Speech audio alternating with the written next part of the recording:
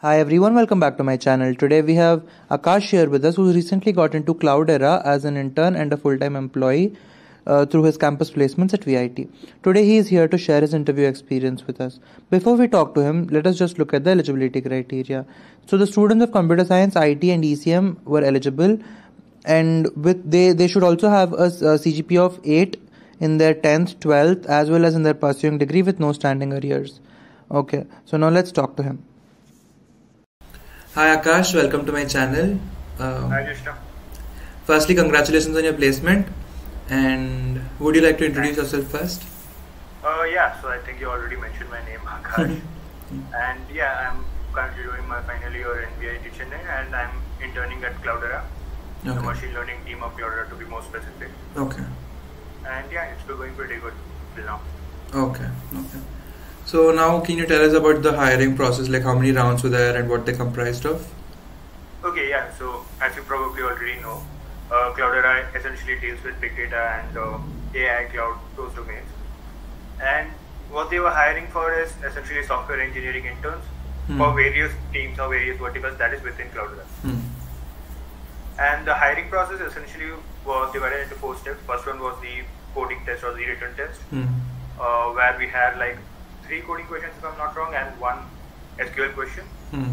Uh, the question uh, to what to what I remember at least now is that the one of the questions in the coding round was essentially string manipulation to make the paragraph no, paragraph in a particular format. Hmm.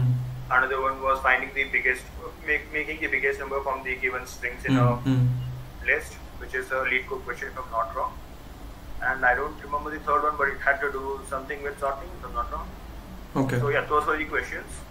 Uh, most of the questions were like questions that you already know. Sorry, the third question was actually a com- common subsequence. Okay. Hmm. Something along those lines, hmm. using that concept in a, in a different area. Hmm. Uh, these were the four questions. The SQL question was a medium level question which used join or like correlated queries. Hmm. hmm. And the questions were essentially similar to the questions you do in LeetCode or any other platform. Okay. And the SQL question again was a medium level question. Almost all the questions were medium level. If hmm. you take your time, you could solve okay. all of them. Hmm. Uh, the paragraph question was the one I did not solve completely. I failed a couple of test cases, not wrong. Okay. And the other other three questions I got all the test cases right, and the coding test was done on HackerRank. Hmm. Uh, once the coding test was done, we got the results, if I'm not wrong, the next day. Okay. And the interview was scheduled for scheduled on Tuesday. The coding test was on Sunday. Okay. And we essentially had three rounds of interview. Hmm. Uh, technical interview one, technical interview two, and then the hiring manager one. Hmm. The first interview essentially was was to evaluate how you think your analytical skills, and they asked some technical questions like coding questions in that mainly uh, one of the questions, if I'm not wrong, was like a pyramid, and you had to do a bottom-up search to find the longest, the the sequence which is giving mm. which is giving you the largest sum or something along those lines. And initially, they did not ask me to code. They essentially were like, okay, we'll start from the most basic thing, most basic approach, what we can go with, and then we'll go step by step to improve the efficiency. Okay. And once we were like certain, it was a two-way dialogue with the interviewer, and we, we both were almost solving the problem together. Mm. And essentially, uh, after we had come to a conclusion like, yeah, this is going to work, uh, he asked me to write the code for that, mm. and I and I prefer Python as a programming language mm. in, in, interviews and coding. Okay. So I particularly used I used Python to do that particular program. Okay. And then there was another question. I don't remember. I think it was the kth highest term or something. I think it was the kth largest element in the uh, list or an array. Okay. And it was, and we had discussion around the heap sort and heap architecture, heap mm. data structure. Mm. After that, uh, he went back to the question that was in the coding round in the first technical okay. first coding test, mm. and he picked the answer that I had. He had picked the answer that I had given for that, oh. and he was like, "How will you improve it?" Okay. Uh, in that co- in that coding round, I had used a normal bubble sort or some other sort mm. which was O of n square. Mm. So we discussed about other sorting algorithms and how the time time complexity could be reduced. Okay. And another thing that he had asked was why didn't I use the inbuilt sort function in Python? Mm. Because that would have solved the problem faster sooner mm. and I could have focused elsewhere. Mm. Uh, the main reason for that was Python's inbuilt sort thing has a particular constraint Hmm. which did not satisfy that particular problem. Hmm. And like there is a library in that sort which does what we want here, but we could I don't know if we can import su- such stuff. So I was like, yeah, let's do it Hmm. from the scratch. Hmm. That was the main point there. Uh, the first technical interview, the interview was really kind. He was really helpful, Hmm. and we almost were smiling at each other the whole Hmm. time. Okay. The second, in, the, after the first interview, I got a mail saying, yeah, you have been selected for the second technical round. Okay. and it was scheduled almost immediately after. So the first interview was at 1.30 if I'm not wrong, and the second was at 3. Okay. The second interview was much more in depth and it went much longer. The first interview was around 45 minutes. Hmm. The second one was around one and a half hour. Okay. Or one hour 15. Hmm. It was supposed to be for one hour and it got extended a bit. Hmm.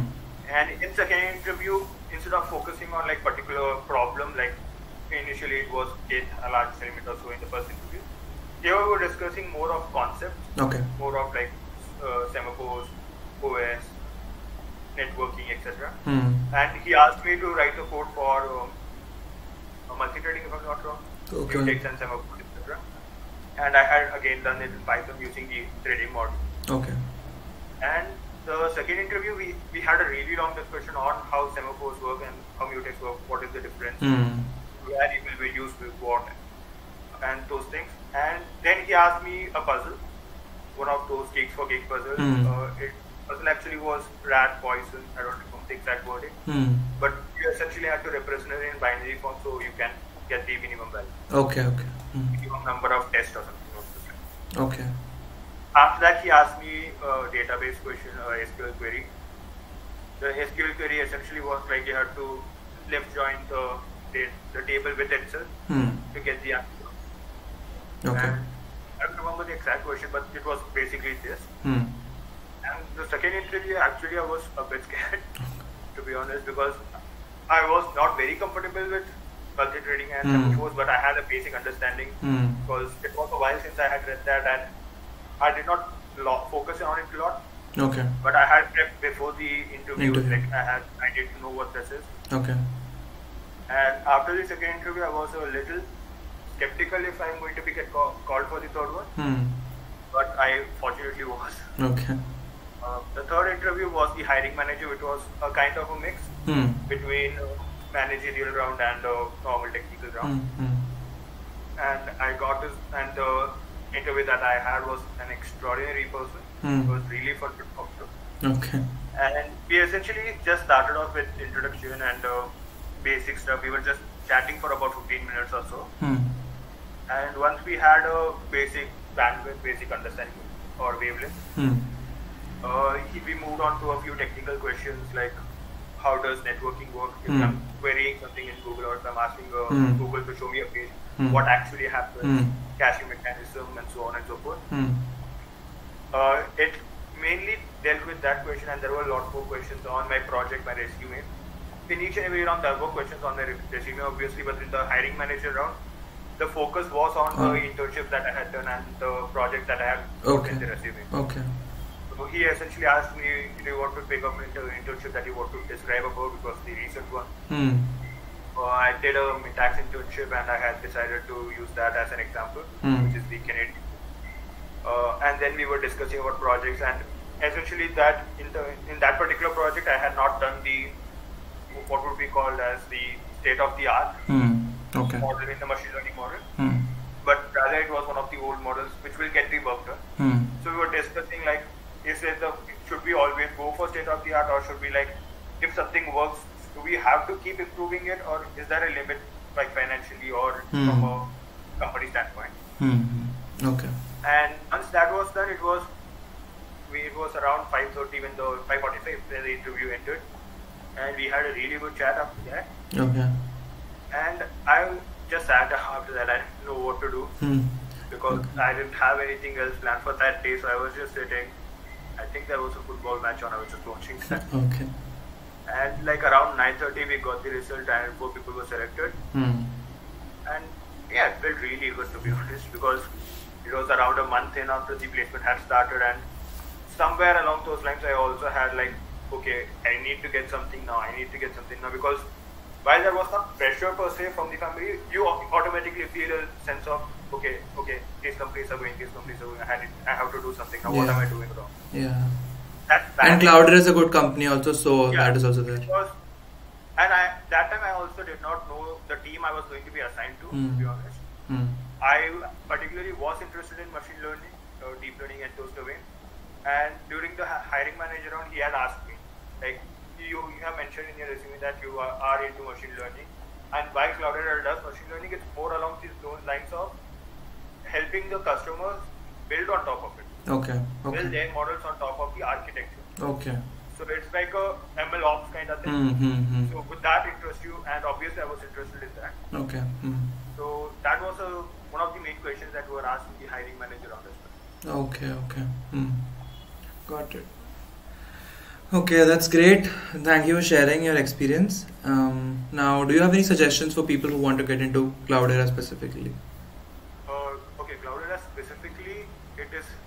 I don't think I'm in a position at the moment. At least I'm just two months in to the internship. So I, I'm, I what I know about Cloudera now, at least, is that there is a wide range of team, and each team has their own tech stack, their own specialities, and it believes in open source completely. So they most of the technologies that are used here are built on top of already existing Apache project like Hadoop or anything. Mm-hmm. So get, getting a, having a knowledge of these open source technologies and maybe even contributing, even if it is just fixing the bugs or reporting a bug even in the GitHub page of Yeah, Apache thing. yeah. That itself is a major highlight for them Mm. or any any company for that matter because Mm. it shows that you are you understand the concept Yeah. and you are willing to contribute. Mm-hmm. Okay. Besides that, I, it's hard to like prepare these technology or prepare these particular, I would say, tech stack also because because again you can't prepare for a company when you're sitting for a Yeah, you yeah, have to correct, prepare for everything. Mm. But I and I have watched all your interview experiences till now, so I don't think Hmm. that is much left to cover in terms of technical question, GeeksforGeeks, quotas have been mentioned each and every time. Yeah.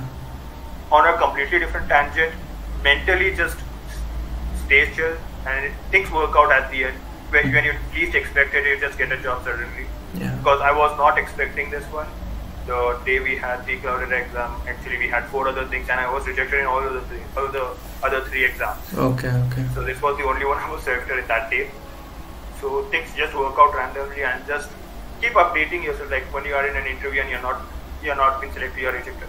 Just see what you did wrong and what you can improve on that. Hmm. And also like open source contribution probably helps a lot in terms of getting into a company that believes in the open source community. Hmm. Okay. Okay. Okay. That's great. Uh, thank you again for sharing. And yeah, thank you. Anytime. Thank you.